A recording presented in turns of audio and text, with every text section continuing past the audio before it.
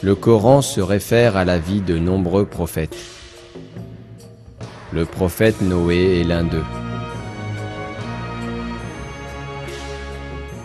Il tenta, comme les autres prophètes, de détourner son peuple de ses croyances erronées et l'invita à revenir sur le chemin de Dieu.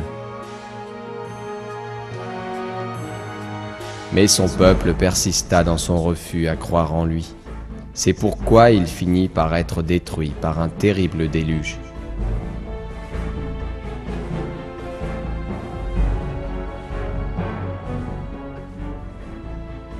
Ce cataclysme joue depuis des milliers d'années un rôle dissuasif.